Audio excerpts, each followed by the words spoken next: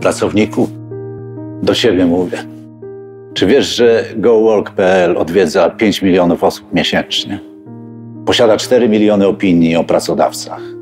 Komentarze czytają ludzie, którzy chcą podjąć ważną w ich życiu decyzję o zmianie pracy. A ty siadasz przed komputerem i piszesz: Ta firma to dno. Mają kawę. Sekretarka się z dyrektorem. Prezes to p***ny idiota. Nie ma pojęcia o biznesie. Co to ma być? Hejt to nie opinia. To, co piszesz, czytają nie tylko pracownicy, nie tylko prezes, ale i jego żona, dzieci. Jeśli chcesz coś zmienić, zasygnalizuj problem, ale w sposób merytoryczny. Inaczej nikt nie potraktuje cię poważnie. Hejt to nie opinia.